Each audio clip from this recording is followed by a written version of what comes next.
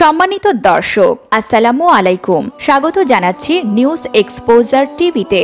Video শুরুতে আপনাদের কাছে একটি বিনীত অনুরোধ। ভিডিওটিতে একটি লাইক দিয়ে দেখতে থাকুন। আর যারা এখনও চ্যানেলটি সাবস্ক্রাইব করেননি, দয়া করে তারা এখনই সাবস্ক্রাইব করে নিন। আর যারা ইতিমধ্যেই সাবস্ক্রাইব করেছেন, তাদের অসংখ্য ধন্যবাদ।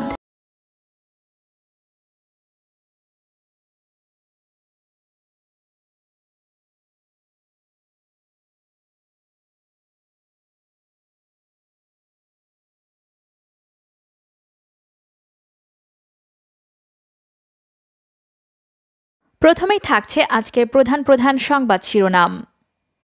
মাগুরায় স্বামীকে গাছের সাথে বেঁধে রেখে স্ত্রীকে দল বেঁধে ধর্ষণ। প্রতিমন্ত্রী হিসেবে শপথ নিলেন ফরিদুল হক। ঘাস চাষ শিখতে বিদেশ যাওয়ার সেই প্রকল্প অনুমোদন। দেওয়াল তুলে রাস্তা বন্ধ করলেন এলাকার প্রভাবশালী। পথচারীদের মাস্ক পরিয়ে দিলেন ভিসি। ঈশ্বরদী ইপি জেটে চাঁদাবাজি, কারাগারে ছাত্রলীগ নেতা। এবার দেখুন বিস্তারিত সংবাদ। মাগুরায় স্বামীকে গাছের সাথে বেঁধে রেখে স্ত্রীকে দল বেঁধে ধর্ষণ। মাগুরা সদরের জাগলা গ্রামের স্বামীকে গাছের সাথে বেঁধে রেখে স্ত্রীকে দল বেঁধে ধর্ষণ করা হয়েছে বলে অভিযোগ পাওয়া গেছে। শনিবার রাত সাড়ে সাতটার দিকে ওই গ্রামের একটি মাঠে ওই গৃহবধূকে ধর্ষণ করা হয়। এ বিষয়ে অজ্ঞাত পাঁচজনকে আসামি করে রোববার দুপুরে নির্যাতিতা ওই গৃহবধূ মামলা করেছেন। নির্যাতিতার স্বামী জানান, তারা স্বামী, স্ত্রী আমন মৌসুমে বিভিন্ন গ্রামে গিয়ে কামলা দিয়ে ধান সংগ্রহ করেন। বিশ দিন আগে তারা ধান সংগ্রহ করার জন্য ঝিনাইদহ জেলার শৈলকুপা উপজেলার বৈনদে খালি থেকে মাগুরা সদরের জাগলা গ্রামে যান। তাদের সেখানে থাকার জায়গা না থাকায় তারা জাগলা এলাকার মাঠে পলিথিনের তাঁবু খাটিয়ে সেখানে থাকেন। শনিবার রাতে অপরিচিত পাঁচজন লোক ধারালো অস্ত্র নিয়ে তাদের উপর চড়াও হয়। এরপর অস্ত্রের মুখে তাকে জোরপূর্বক একটি গাছের সাথে বেঁধে ফেলে। এই সময় তারা তার স্ত্রীকে জোর করে ধরে পাশের একটি পুকুরের পাশে নিয়ে সংঘবদ্ধভাবে ধর্ষণ করে। ধর্ষকরা তার কাছে থাকা পাঁচ হাজার টাকাও ছিনিয়ে নেয়। তারা যাওয়ার সময় ঘটনা কাউকে কিছু না জানানোর হুমকি দিয়ে যায়। এদিকে, আজ রোববার দুপুরে নির্যাতিতা গৃহবধূ বাদী হয়ে সদর থানায় অজ্ঞাত পাঁচজনকে আসামি করে মামলা করেন। সদর থানার ভারপ্রাপ্ত কর্মকর্তা জয়নাল আবিদিন জানান, নির্যাতিতা গৃহবধূর ডাক্তারি পরীক্ষা সম্পন্ন হয়েছে। ধর্ষকদের শনাক্ত ও গ্রেফতারের অভিযান চলছে। প্রতিমন্ত্রী হিসেবে শপথ নিলেন ফরিদুল হক।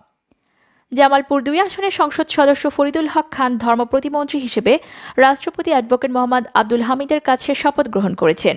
মঙ্গলবার চব্বিশে নভেম্বর সন্ধ্যায় তাকে শপথ পাঠ করানো হয়। গত তেরোই জুন ধর্ম প্রতিমন্ত্রী শেখ মোহাম্মদ আবদুল্লাহ মৃত্যুর পর থেকে ধর্ম মন্ত্রণালয়ের মন্ত্রী শূন্য ছিল। ফরিদুল হক খান দুলাল বাংলাদেশ আওয়ামী লীগের মনোনয়নে জামালপুর দুই আসন, ইসলামপুর থেকে নবম, দশম ও একাদশ জাতীয় সংসদে নির্বাচিত সদস্য। তিনি ইসলামপুর উপজেলা আওয়ামী লীগের সভাপতির দায়িত্ব পালন করছেন। ফরিদুল হক খান উনিশশো ছাপ্পান্ন সালের দুই জানুয়ারি পূর্ব পাকিস্তানের জামালপুরে জেলার ইসলামপুর উপজেলার উত্তর সিরাজাবাদ গ্রামে জন্মগ্রহণ করেন। তার পিতার নাম মোহাম্মদ হবিবুর রহমান খান ও মাতার নাম মোসাম্মদ ফাতেমা খানম জানা গেছে, তিনি উচ্চ মাধ্যমিক পর্যন্ত পড়াশোনা করেছেন। তিনি দশম জাতীয় সংসদের স্বরাষ্ট্র মন্ত্রণালয় সম্পর্কিত সংসদীয় স্থায়ী কমিটির সদস্য ছিলেন। ঘাস চাষ শিখতে বিদেশ যাওয়ার সেই প্রকল্প অনুমোদন। অবশেষে প্রাণী সম্পদের বত্রিশ কর্মকর্তার বিদেশ ভ্রমণ বহাল রেখেই অনুমোদন দেয়া হলো আলোচিত ঘাস চাষ সম্প্রসারণ প্রকল্প। চূড়ান্ত অনুমোদন দেয়া হয়েছে যশোর ঝিনাইদহ মহাসড়ক উন্নয়ন প্রকল্পটিরও।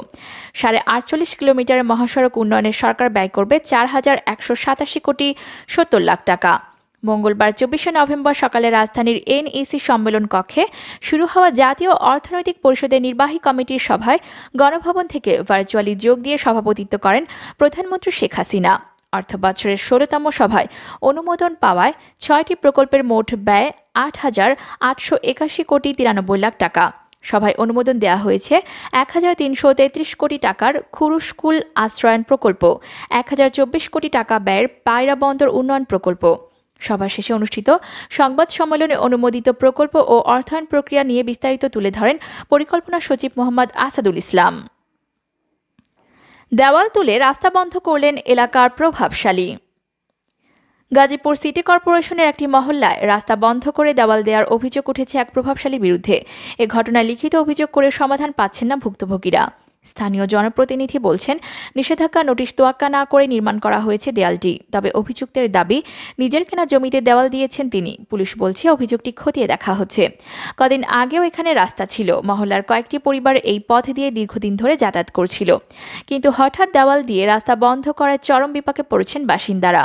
ভুক্তভোগী ও এলাকাবাসী জানায়, দেয়াল তুলে দেওয়ায় এখানে বসতবাসকারী পঁচিশ থেকে তিরিশটি পরিবার আটকা পড়ে আছে।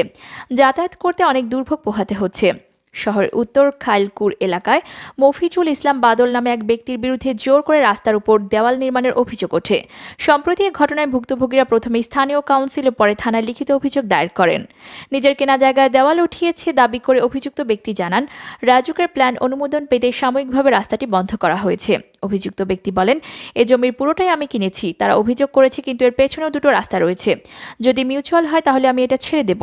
স্থানীয় কাউন্সিলর বলেছেন, রাতারাতি ওঠা দেওয়ালটি সরাতে এলাকাবাসী নিয়ে ভেঙে দেওয়া হয়েছিল, আর পুলিশ বলছে বিষয়টি খতিয়ে দেখা হচ্ছে। গাজীপুর সিটি কর্পোরেশন তেত্রিশ নং ওয়ার্ড কাউন্সিলর মোহাম্মদ মিজানুর রহমান বলেন, অদৃশ্য কারণে রাস্তাটায় এক রাতের মধ্যে দেওয়াল তুলে দেয়। জিএমপি উপ পুলিশ কমিশনার ডিবি উত্তর মোহাম্মদ জাকির হোসেন বলেন, এই জমির প্রকৃত মালিকানা অনুসন্ধান করে ব্যবস্থা নেওয়া হবে। ছয় ফিট প্রশস্ত রাস্তাটি দীর্ঘদিন ধরে শতাধিক বাসিন্দা যাতায়াতে ব্যবহার করলেও দুমাস আগে বন্ধ করে দেওয়া হয়। পথচারীদের মাস্ক পরিয়ে দিলেন BC no mask no service এই স্লোগানকে সামনে রেখে জামালপুরের সর্বস্তরের মানুষের মাঝে মাস্ক বিতরণ করেছেন জেলা প্রশাসন। মঙ্গলবার চব্বিশে নভেম্বর দুপুর একটায় জামালপুর ফৌজদারি মোড়ে মাস্ক বিতরণ কার্যক্রম আনুষ্ঠানিকভাবে শুরু করেন জেলা প্রশাসক মোহাম্মদ এনামুল হক। এ সময় জেলা প্রশাসক, রাস্তার পথচারী, অটোরিকশা ও অন্যান্য যানবাহনের চালক ও যাত্রী, দোকানপাটের ক্রেতা বিক্রেতাদের মাঝে বিনামূল্যে মাস্ক বিতরণ করেন। সাধারণ মানুষের মুখে মাস্ক পরিয়ে দেন। জেলা প্রশাসক মোহাম্মদ এনামুল হক সকলের উদ্দেশ্যে বলেন করোনা ভাইরাসের সংক্রমণ রোধে প্রধানমন্ত্রীর কড়া নির্দেশনা ও বিদ্যমান আইন বাস্তবায়ন করতে আমরা সবাই মিলে মাস্কের ব্যবহার নিশ্চিত করতে চাই।